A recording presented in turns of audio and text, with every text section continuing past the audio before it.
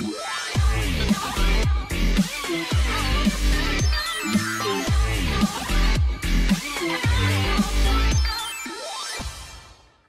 Yakın tarihte pek çok toplu kıyım var, katliam var. Hala şu anda akşam saatlerinde televizyonda haberleri izlediğiniz zaman İsraillerin Gazze'de uyguladığı katliamlar hakkında fikir sahibi olabiliyorsunuz. İnsanın canı sıkılıyor yakın tarihte geçtiğimiz yüzyılda en azından Nazilerin Yahudilere uygulamış olduğu e, katliamlar var. 90'lı yıllarda yine Sırpların Saraybosna'da, Srebrenica'da yapmış olduğu toplu katliamlar var. 10 yıl önce IŞİD'in Ezidilere uyguladığı katliamlar var ve bunları düşündükçe sayıları artmaya başlıyor. Peki hiç düşündünüz mü? Bu katliamları yapanlar ne düşünüyorlar? Gözlerini kırpmadan mı öldürüyorlar o çocukları ya da o çocukların ailelerini? Ee, ben bunları hep düşünüyorum, hep merak ediyorum nasıl bir psikolojide bunlar yapılıyor diye. Açıkçası bunu düşünen sadece ben değilmişim. The Zone of Interest isimli film ki geçtiğimiz hafta içerisinde Oscar'larda en iyi yabancı film ödülünü aldı. In the sense of Norm with his family, he's very good at his tree, in a lovely house with a lovely The Zone of Interest son zamanlarda izlediğim en ilgi çekici filmlerden biri. IMDB puanda 7.5 olarak gözüküyor.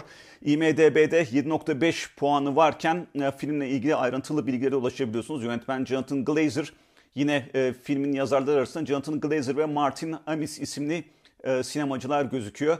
Oyunculara bakalım. Christian Friedel, Sandra Hüller başrollerde. Christian Friedel isimli oyuncunun e, karakterini canlandırdığı Rudolf Höss Auschwitz'in komutanı. Auschwitz'te o toplu katliamların nasıl planlandığını anlatan isim Rudolf Höss. E, Zone of Interest'te bunu anlatıyor aslında. Auschwitz'i herkes duymuştur.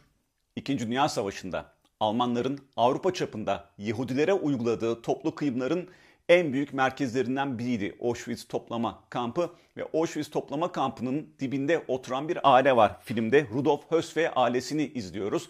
Rudolf Höss ve ailesi e, diplerinde hemen binlerce insan her gün fırınlarda can verirken bazıları gaz odalarında bazıları fırınlarda yanarak can verirken tipik bir orta sınıf memur ailesi tavrıyla olaylara yaklaşıyorlar. Bu da filmi en ürkütücü kıran, kılan konulardan biri. Hadi diyeceksiniz ki Rudolf Höss bir Nazi subayı ve bir Nazi subayın getirmiş olduğu korkunçluk nedeniyle bu katliamları yapıyor. Filmde detaylara indiğiniz zaman eşinin de ailesinin de bu ayrıntılara hakim olduğunu görüyorsunuz. Bu da e, sizi oldukça tedirgin eden ee, diğer bir ayrıntı yine küçük çocukları var. Çocukları her gün okula gidiyorlar. Okuldan geliyorlar ve evde mutlu bir şekilde yaşıyorlar. Akşam saatlerinde bazen toplama kampından gelen sesleri duyuyorlar ve o seslerin ışığında çok da fazla uyuyamıyorlar. Onları sadece rahatsız edici sesler olarak düşünüyor çocuklar ve çok üzerine kafa yormuyorlar. Bu da filmdeki diğer bir rahatsız edici konu. Film Zone of Interest gördüğüm kadarıyla Oscar'larda fazlasıyla adaylık almış durumda.